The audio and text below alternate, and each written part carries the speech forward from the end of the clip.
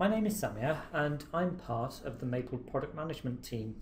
My role here at Maplesoft is to engage with our users and to help them better understand and use our tools, technologies and services.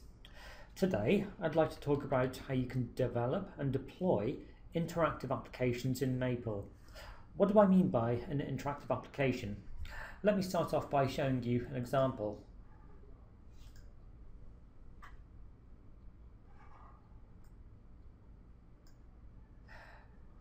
This, for example, is an application that lets you explore how different working fluids and boundary conditions affect the operation of an organic Rankine cycle. These are thermodynamic cycles which are used to recover a, a usable uh, work from low-grade waste heat, such as that from factories or car exhaust systems. At the top I have my results. At the bottom I have parameters I can change. So I can change fluids, I can change temperatures, and if you look carefully, the results at the top, so the intermediate temperatures, enthalpies and pressures, this heat transfer diagram, and these statistics update. I'll show you a few more applications in a few minutes. Once I've done that, I'll break things down and I'll talk about the range of interactive user interface components available when you build applications in Maple I'll discuss how they can be laid out and how they can be scripted or programmatically controlled. Finally, I'll talk about the various deployment options available to you. In a short webinar like this, we only really have enough time to touch on the major principles, but that will give you a good sense of the overall philosophy of application development and deployment in Maple. All of the fine-grained details can be found in the Maple documentation and in various tutorials and guides on our website. Let me state what, may, what many of you may already appreciate and find obvious. Real application development is nonlinear. You usually start by developing your mathematical model and writing some code.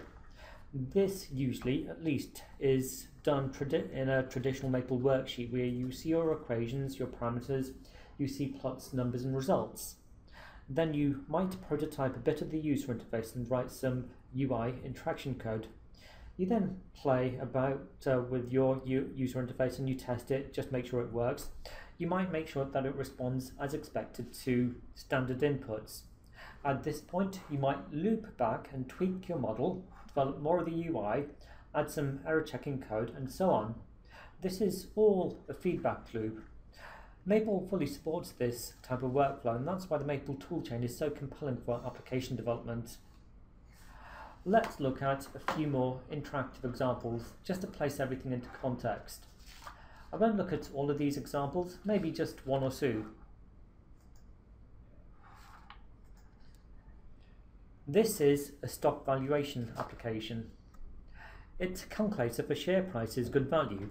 It's interesting because it communicates with the internet to download company financial information such as the earnings per share, the current stock price, the price to earnings ratio, and so on. I have a few drop down menus which allow me to check, uh, select the industry. I can pick the stock exchange, and there's uh, a drop down menu which allows me to pick a company. I have a few sliders which allow me to change my required investment parameters such as the desired annual return and my holding period.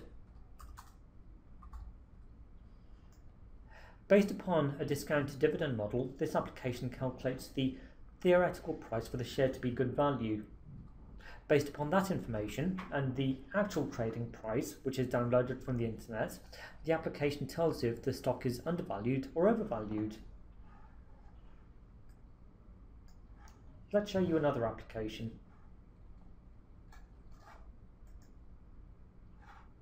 This is actually an interactive psychrometric chart.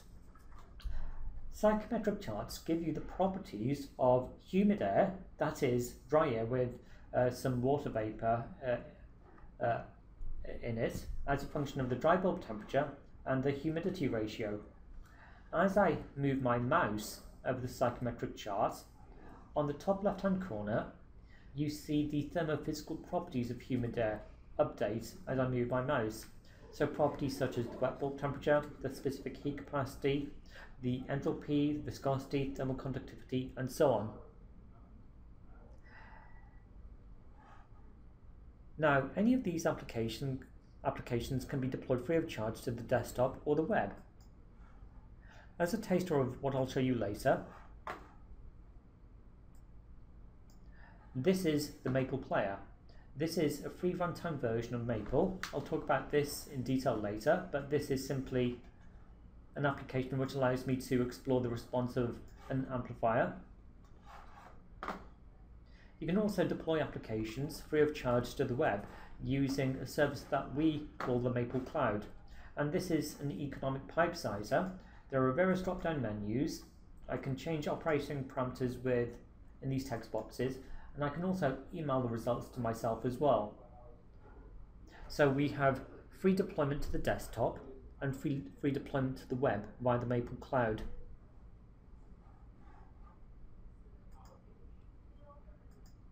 So let's talk about application development in a bit more detail. These are the interactive components available to you when you build an interactive application in Maple. We have things like sliders, dials, gauges, widgets, and so on. We also have a plotting component which allows you to display 2D or 3D plots, and there's also uh, something that we call a math container which allows you to type in mathematical equations using real mathematical notation any of these can be used when you develop interactive applications in Maple. All of these can be inserted from the Components palette here on the left hand side.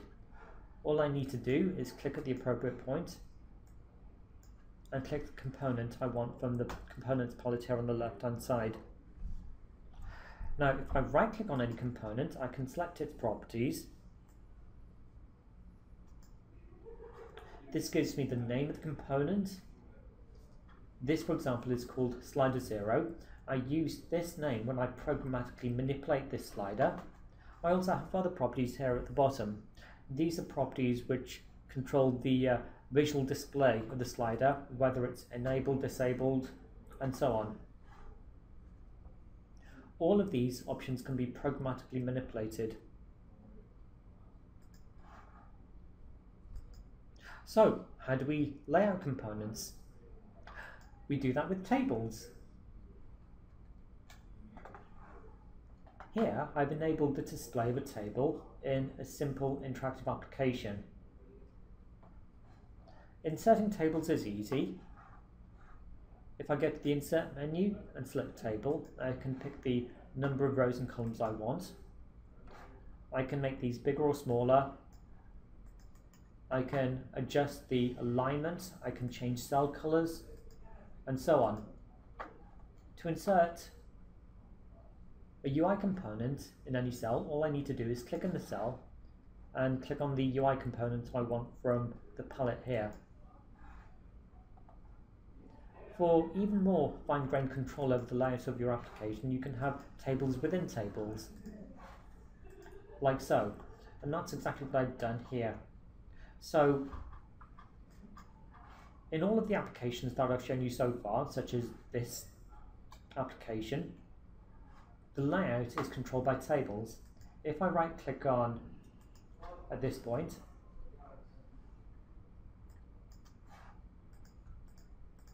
I can enable the display the table borders. And that's how this particular set of components, these this text and these text boxes were laid out.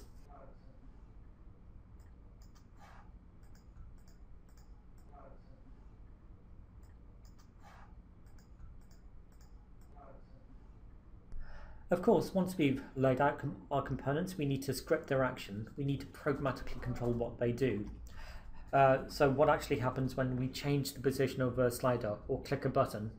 We do that with the use of the Maple programming language and the action code for that component.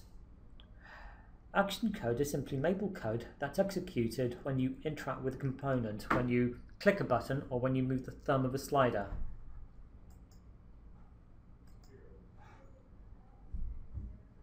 So look at this simple application here.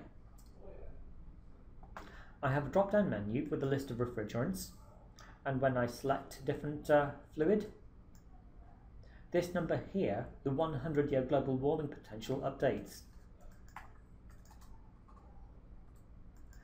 We'll look at the code for this application in a minute. Very simply put, in any interactive Maple application, the underlying code has three major sections.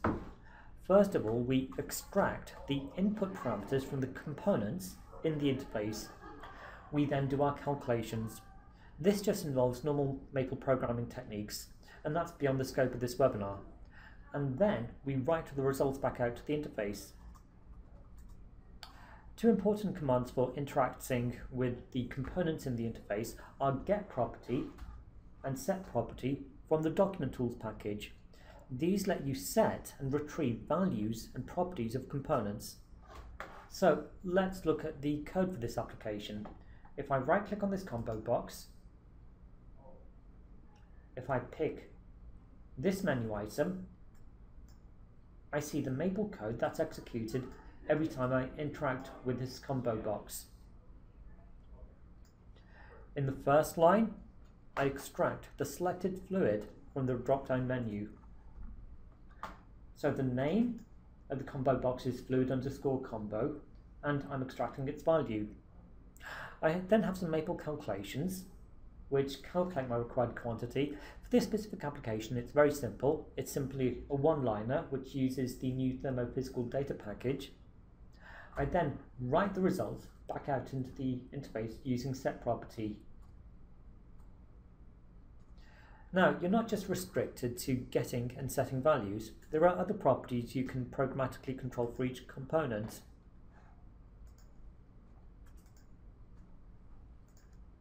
For example, these are the options that you can control for the text area. You can control whether it's editable, you can control its fill color, you can control whether the borders are shown. In this specific example, I've used the set property command to control the font color for this text box. Let's change that to red. If I hit enter, you can see the color of this uh, text in this text box changing. The combo box, I can actually control the list of items in the combo box. And that's how I do this. So here I've just pre-filled the combo box with a list of colours, red, orange, yellow and blue, and that appears here. If I want to add extra colours, I can just add them to this list. So let's add black and violet. As soon as I hit enter, I can see these colours automatically added to this combo box. So let's talk about best practices in coding interactive applications and this is just based on my experience of coding these applications. I generally try to identify commonly used code and I capture that code in functions or procedures. I then place the function definitions in the startup code for the Maple application. Startup code is simply code that's executed once uh, that's executed when you actually first load a Maple worksheet. And then within the actual action code for the components, I simply have function calls in the component code. Going back to this application, I've actually revised this application to follow these principles. Let's take a look at the new application.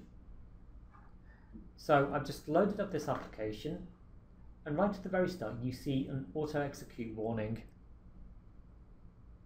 Maple warns me that the application is startup code.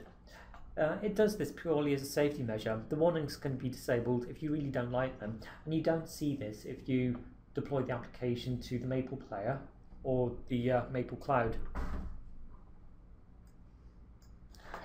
Now, within the action code for this combo box, I simply have a call to a function. This function is executed every time I change the selection of this combo box. The actual function definition is in my startup code for this worksheet. So here it is. As you can see, all I've done is capture those Maple commands that I showed you earlier in a function. The startup code is executed once I load a Maple worksheet. So once I've actually loaded up this Maple worksheet, this function is available anywhere in that worksheet or via any uh, components.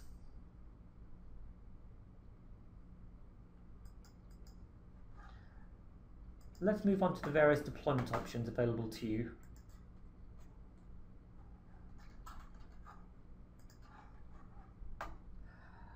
I've already mentioned the Maple Player. It's actually a free runtime version of Maple and it can be downloaded from this link. The concept is, is that you use your main license in Maple to develop interactive applications. You add in interactivity with the UI components you can then give that application, the file, to a colleague or a client who can interact with it using the Maple Player. They can change input parameters and view results, but the application can't be changed or modified using the player. You need a full license of Maple to, to do that. I showed you the Maple Player earlier. Let me load up another application. So this is the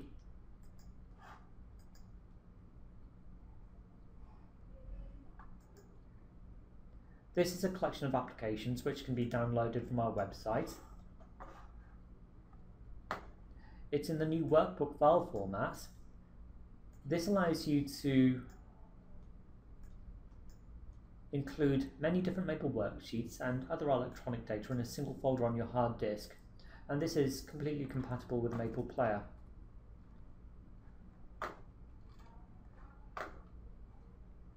This application, for example, calculates the saturation temperature of fluids as a function of the pressure. I can pick a different fluid, and this plot here gives me, gives me its saturation temperature as a function of the pressure. You can also deploy your applications free of charge to the web using the Maple Cloud. I showed you this earlier. This is the Maple Cloud website as I mentioned earlier, it's a free service provided by Maplesoft. You can actually upload applications from within Maple to this website. You can create various groups in Maple. You can upload applications to the public cloud so the whole world can see them, or you can upload your applications to your own private cloud so only you can see them, or you can create custom groups which are invite only so you control access. And you upload applications via the Maple Cloud palette here.